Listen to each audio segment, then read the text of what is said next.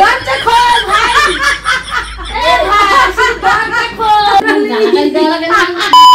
তো hello everyone এখন মানে এখন সন্ধ্যাবেলা যেহেতু, আমরা বসে আছি, আর আমার মা এই মুহূর্তে ঘরে আসবে, আর আমার মায়ের সাথে আজকে একটা ধামাকাদার প্র্যাঙ্ক হবে, ঠিক আছে?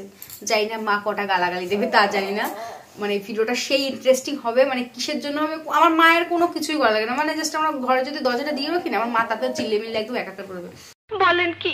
তো সেটা আজকে দেখাবো যে আমার মায়ের সাথে প্র্যাঙ্ক হবে আর কেমন কি হচ্ছে না না হচ্ছে সেটা তোমরা পুরো ফুলটা দেখতে